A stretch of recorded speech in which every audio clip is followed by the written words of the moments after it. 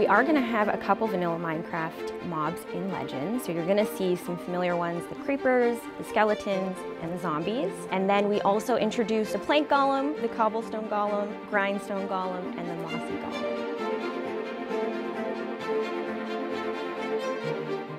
And then the rest you're just going to have to find out in the game.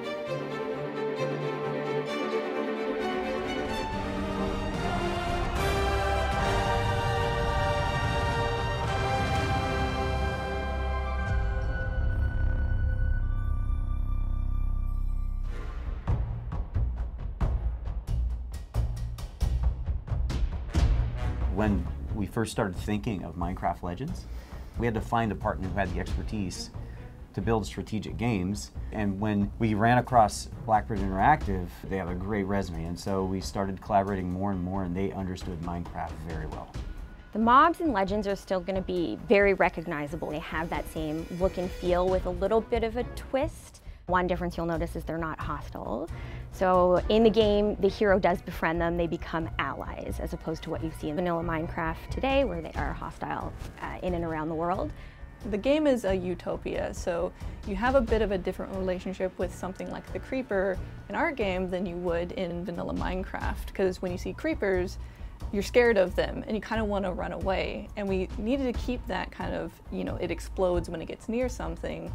So we worked that into the mechanic, but by keeping the texture, proportions, making sure we maintain its like iconic facial features. We tried making the zombie what smile whatnot, but it, it didn't quite seem in character. You know, we tried to take the personality of the characters into consideration.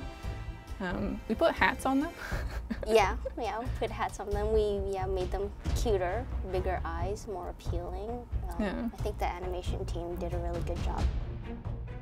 The reason we ended up putting hats on the zombie and the skeleton is because as any Minecraft player knows, they burn in daytime. So we had to kind of justify a way for them to not turn into flame in the middle of the day. So we had to come up with some hats that were appropriate to their personality, but playing off of the like vanilla mechanic of they can wear a helm and then they don't explode. So we had some fun with that.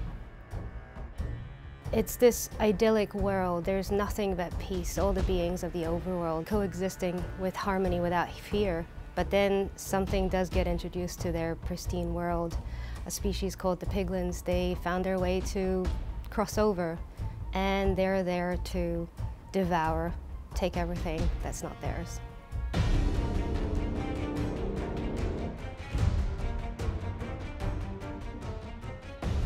We kind of just treated them a bit like they were children that were kind of armed with the resources to do what they want, but maybe not the knowledge of how to do it well. So like the, the grunters and the runts, you know, they're the ones that kind of get sent in first. There's a million of them, they die really quickly. Yeah, they're the tiny guys and they offer quite a bit of comedy relief because they're small and they're holding these like large weapons that are too big for their body. Yeah. Animation like worked on them and it looked like they were unbalanced all the time. Yeah. We just had a lot of fun with how do you separate these different hordes of piglins from each other but still keep that main sort of theme that they come from the nether. And at the time that we were designing it, the nether update hadn't come out yet.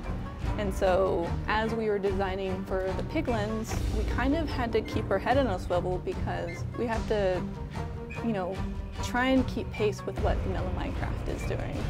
We had to find ways to introduce new things that are unique to this game, but at the same time, we had to make sure that the story and the mystery that is so dear to the Minecraft franchise is respected. So always finding that nice middle ground has been a constant challenge, but I think we got to a really good place and we're really happy about it.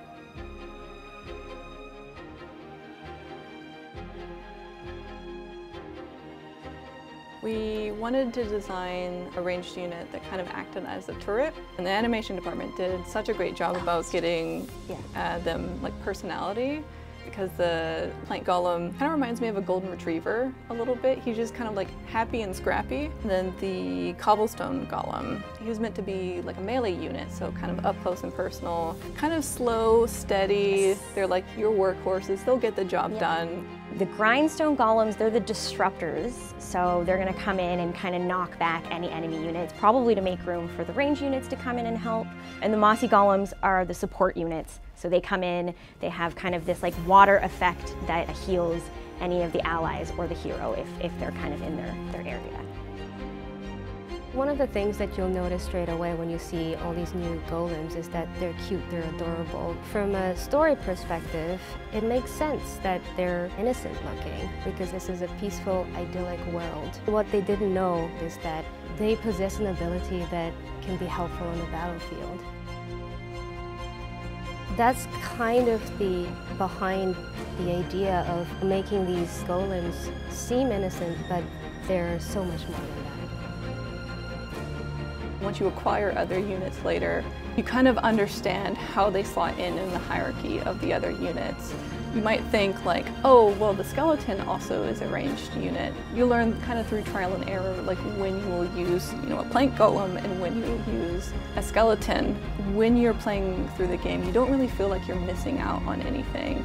Whether or not you play with the new units or whether or not you play with vanilla Minecraft units, they kind of offer something different for every player.